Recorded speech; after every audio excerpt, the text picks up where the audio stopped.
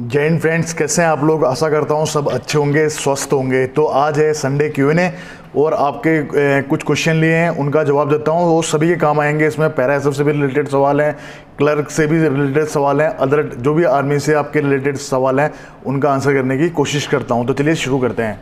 तो पहला क्वेश्चन पूछते हैं, Shiva Singh sir I have a question if a person is selected in Indian army through clerk trade how he can join para S F friends पहले बता दूँ कि clerk के through अगर आप पैरा रेजिमेंट में हैं पैरा एस एफ़ में पैरा रेजिमेंट में हैं तो आपके लिए पैरा एस में जाना आसान हो जाता है। लेकिन आप अदर रेजिमेंट में हैं और वहाँ के थ्रू एज ए क्लर्क आप पैरा एस में आना जाते हैं तो ये बहुत ही मुश्किल चीज़ें हैं। असंभव तो खैर नहीं है, लेकिन बहुत मुश्किल हो जाता है इसमें आपका एक क्लर्क का पैरा एस में जा पाना। तो इसके लिए मैं ये आपसे बस यही कहता हूँ, जो सिंपल सा प्रोसीजर है वो ये है कि आपको अपनी यूनिट में बताना पड़ता है। तो जब आपके यूनिट में वैकेंसीज आती हैं पैरा एस की तो आपका सीओ आपको फिर आपको भेजते हैं वहाँ पर आपकी योग्यता के आधार पे और आपके फ़िज़िकल फिटनेस के आधार पे। और पैरा सब में सारे ट्रेड होते हैं। कई आप लोगों का आता है कि ट्रेडमैन होता ही नहीं होता है। तो एक आर्मी है वो भी एक आर्मी का पार्ट है। जो आर्मी में सारे ट्रेड होते हैं वही ट्रेड उसमें भी होते हैं। चलिए लेते हैं नेक्स्ट क्वेश्चन नेक्स्ट क्वेश्चन पूछते हैं विकास आजन ये बोलते हैं sir I am from Himachal Pradesh I watch your YouTube channel my question is I read in twelfth class and art subject English Hindi political science history science subject हैं. I am eligible to army clerk please reply so pass thank you मेरे भाई, इसमें मैं आपका English देख पा रहा हूँ, लेकिन इसमें आपका मैथमेटिक्स नहीं दिखाई दे रहा है। और क्लर्क के लिए आपको मैथमेटिक्स होना अनिवार्य है। मैथमेटिक्स और इंग्लिश मान लिया जाए आप कॉमर्स के हैं तो आपको अकाउंट और इंग्लिश यानी कि आपको या तो मैथ में से या आपके अकाउंट में से एक सब्जेक्ट होना अनिवार्य है। तो यहाँ पर मुझे आपकी ना ही मैथ दिख रही है, ना ही आपका अकाउंट्स का कोई सब्जेक्ट दिखाई दे रहा है।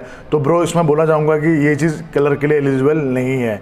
अब लेते हैं नेक्स्ट क्वेश्चन नेक्स्ट क्वेश्चन पूछती हैं Pari sir UN peace keeping mission पर जाने के लिए इंडियन आर्मी सोल्जर किस बेस पर सेलेक्ट होते हैं? मेरी बहन इंडियन आर्मी की तरफ़ से अगर आपको यूएन मिशन में जाना है तो आपको ग्राउंड स्तर पर आउटस्टैंडिंग काम करना पड़ता है। अब आउटस्टैंडिंग का मतलब यह है कि आपको ताबड़तोड़ बल्लेबाजी करनी पड़ती है। यह मैं आपको शब्दों के द्वारा इसलिए मतलब एक व्यंग के द्वारा इसलिए बता रहा हूँ कि इस चीज़ पे खुल के नहीं बोल सकता क्योंकि एज ए सिक्योरिटी रीज़न लेकिन ये बोल रहा हूँ कि आपकी आउटस्टैंडिंग परफॉर्मेंस होनी चाहिए, तब जाके आपको यूएन मिशन जाने का मौका मिलता है। मैं यहाँ बात बटालियंस की भी कर रहा हूँ और इंडिविजुअल की भी कर रहा हूँ, क्योंकि यूएन आप दो टाइप से जाते हैं। एक तो पूरी यूनिट जाती है और एक कई कोर्स के बंदे आपने देखा होगा कि जिसमें एम का भी रैप होता है एएमए का भी होता है, वो लोग इंडिविजुअल भी किसी इन्फेंट्री यूनिट के साथ में जाते हैं। तो उनकी भी परफॉर्मेंस शानदार चाहिए प्लस जो बटालियन जाती है, वो बहुत ज़बरदस्त काम कर, करती है और उसी काम की वजह से उनको यूएन मिशन जाने का मौका मिलता है। आशा करता हूँ आप समझ गए होंगे। चलिए, लेते हैं नेक्स्ट क्वेश्चन और नेक्स्ट क्वेश्चन पूछते हैं क्रिस ब्राह्मण ये बोलते हैं, सर म्यूजिशियन वालों की पोस्टिंग अलग अलग होती है। ये बस एक सेंटर में ही रहते हैं। तो मेरे भाई म्यूजिशियन को लेकर डिटेल की जानकारी आपको आई बटन में मिल जाएगी। शायद म्यूजिशियन की आपको इससे अच्छी जानकारी आपको पूरे यूट्यूब पे नहीं मिलेगी। ना ही किसी ने ऐसी वीडियो बनाएगी एक बार आप विज़िट ज़रूर करना। तो आपको फिर भी डिटेल से बता देता हूँ। म्यूज़िक यानी कि ट्रेड आपके जो होते हैं म्यूजिशियन में आप तीन टाइप से जा सकते हैं। एक जा सकते हैं आप जिसको आप अपनी आधुनिक जो बैंड है हमारा, जिसको हम अपनी कॉमन भाषा में बोलते हैं ऑर्केस्ट्रा जिसको आर्मी में जाज बैंड बोला जाता है। तो उसमें आप सोल्जर जीडी के माध्यम से जाते हैं। उसमें सारी चीज़ें होती हैं गिटार आपका कोंगो कैसियो और जो जो भी ये ड्रम्स ये चीज़ें होती है। सेकेंड है आपका पाइप बैंड पाइप बैंड में आप एज ए सोल्जर जीडी के थ्रू भी जा सकते हैं, और डायरेक्ट आप बैंड में भर्ती होकर भी जा सकते हैं। थर्ड होता है सेंटर का ब्रास बैंड और इसमें तो पोस्टिंग उनकी सेंटर में रहती है, और सेंटर से बाहर वो लोग नहीं जाते तो यानी कि म्यूज़िक में आप तीन तरीके से आ सकते हैं, एक आपका जाज बैंड दूसरा आपका पाइप बैंड तीसरा आपका ब्रास बैंड तो पाइप बैंड वाला बंदा भी अगर यूनिट में सोल्जर हर यूनिट में पाइप बैंड होता है तो यूनिट के साथ मूव करता है तो उसको पोस्टिंग मिल जाती है। और जो सेंटर का पाइप बैंड होता है, वो सेंटर में रहता है, लेकिन जो ब्रास बैंड होता है, वो रेजिमेंटल सेंटर का ही होता है, और वो रेजिमेंटल सेंटर में ही रहता है। तो आशा करता हूँ कि आपका म्यूजिशियन को लेके जो डाउट था क्लियर हो गया होगा। आप वीडियो देखना, आपको उसमें और पूरी जानकारी अच्छे से मिल जाएगी। चलिए नेक्स्ट क्वेश्चन लेते हैं निशांत का। ये बोलते हैं, सर ए के लिए टेंथ और एंड ट्वेल्थ में गुड परसेंटेज चाहिए होती है क्या, सर? क्या हम परसेंटेज वाले भी टेस्ट दे सकते हैं? क्या कम परसेंटेज वाले भी टेस्ट दे सकते हैं? और इसका प्रोड्यूसर क्या होता है? Sir please reply very confuse मेरे भाई अगर आपको एसीसी कमीशन देना है तो उसके लिए सर्व सिर्फ़ यही होती है कि आफ्टर ज्वाइनिंग इंडियन आर्मी आपके पास में 28 साल तक का वक्त होता है। 28 साल और तीन मौके, यानी कि 28 साल तक आपको तीन मौके मिलते हैं एसीसी कमीशन फाइट करने के। अगर उसमें आप सिलेक्ट हो जाते हैं तो आप डायरेक्ट आईएमए में जाते हैं ट्रेनिंग के लिए, जहाँ भारतीय सेना के अधिकारी बन जाते हैं। और उसके लिए ऐसा कोई क्राइटेरिया नहीं है कि टेंथ में इतने परसेंट या ट्वेल्थ में इतने परसेंट आप सिंपल से अपनी ग्रेजुएशन के बाद या ट्वेल्थ के बाद, आप ट्वेल्थ के बाद में भी एसीसी कमीशन दे सकते हैं। चलिए लेते हैं नेक्स्ट क्वेश्चन नेक्स्ट क्वेश्चन पूछते हैं UK hello sir hello bro मैं टेंथ पास हूँ पर मुझे इंग्लिश सब्जेक्ट में ग्रेस लग गया है, क्या मैं ट्रेड्समैन भर्ती देख सकता हूँ? बिल्कुल मेरे भाई, आप ट्रेड्समैन की भर्ती देख सकते हैं। ट्रेडमेंट में भी आपके दो दो टाइप से भर्ती होती है। एक होती है ट्रेडमेंट एट पास एक होती है tradesman tenth pass eighth pass में दो ट्रेड होते हैं, एक हाउस कीपर का और एक मेस कीपर का। हाउस कीपर यानी कि सफ़ाई कर्मचारी मेस कीपर यानी कि मसालची। ये होते हैं एट पास की। इसकी भी मैंने कंप्लीट वीडियो बना रखी है, आपको लिंक डिस्क्रिप्शन में भी मिल जाएगा। साथ ही सोल्जर ट्रीटमेंट टेंथ पास को लेकर पूरी डिटेल के साथ में वीडियो है, आप आई बटन में जाके ज़रूर देखना।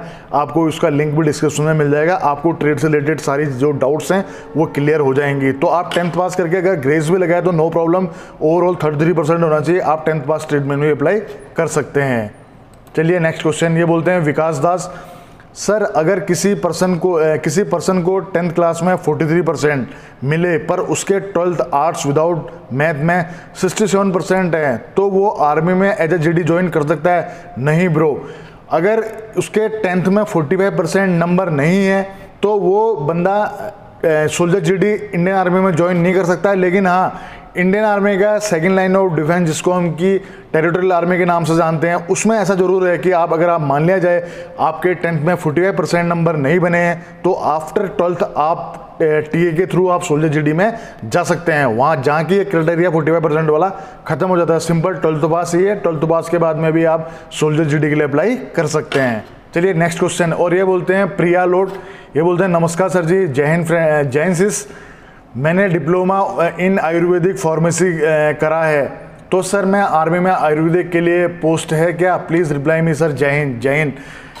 मेरी बहन, मैं आपको बताना चाहता हूँ कि आर्मी में हमारी मेडिकल लाइंस का जो डिपार्टमेंट है, वो होता है आपका एएमसी यानी कि आर्मी मेडिकल कोर। और उसमें जो हमारे नर्सिंग स्टैंड या फार्मा ट्रेड्स के बंदे भर्ती होते हैं तो उसमें आयुर्वेदिक का कोई भी चीज़ नहीं होता, बस आयुर्वेदिक हम लोग एक नॉर्मल योगा के तौर पर करते हैं।